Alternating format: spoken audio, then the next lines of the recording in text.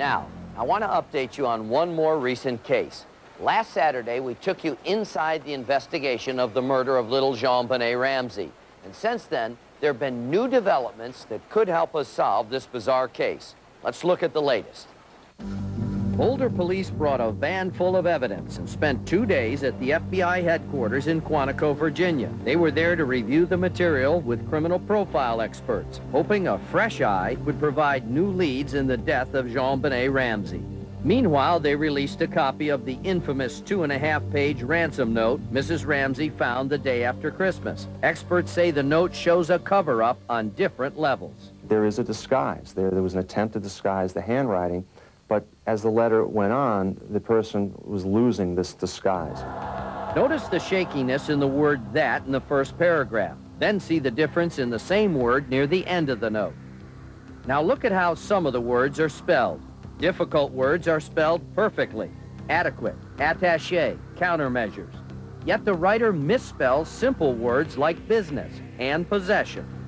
That sort of behavior, to me, is indication of trying to dumb down the letter to make the letter writer, this, this offender, look dumber than perhaps he actually is.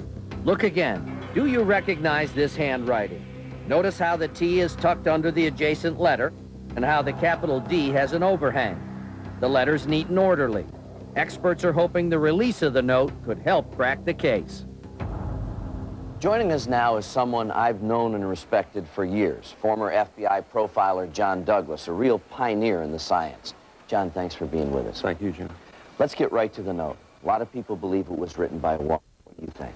We can't make that determination. Unfortunately, some of the uh, top experts who I contacted said they cannot determine whether or not it was authored by either a male or a female.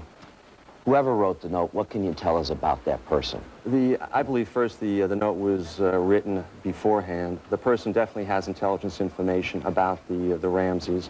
The person is above average in intelligence, uh, planned the crime beforehand, uh, has been in the house before, has intimate knowledge about the, the household. And uh, so therefore, we're not looking for a stranger. Well, it's widely known that the Ramseys hired you as an expert to help them find JonBenét's killer. You've been inside this investigation from the beginning. What's your thoughts? Is, have the Ramseys something to do with it, or is it somebody else? John, I was tough on the Ramseys, uh, uh, particularly uh, John Ramsey. At one point, I said, John, I said, if you did it, I said, you're one great liar, because I've interviewed some great liars in my life. And uh, I don't believe they did it. Uh, the note, uh, in fact, to me, reinforces that. There's too much minutia in it, too, much, too many details that's unnecessary in a ransom note. so they did not do it. That's a, a valuable opinion because I know you've broken some tough, tough cases. Now, if you want to take a closer look at the ransom note, you can find the entire document on the America's Most Wanted website at www.amw.com. John, thanks very much for being here. This is a horrible crime, and I, I hope that uh, little JonBenét gets justice. Thank you.